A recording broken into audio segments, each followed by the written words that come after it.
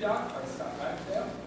Second piece will feature our trumpet soloist, Eduardo uh, Santos, on Happy Song by um, Thomas Matta, arranged by Thomas Matta.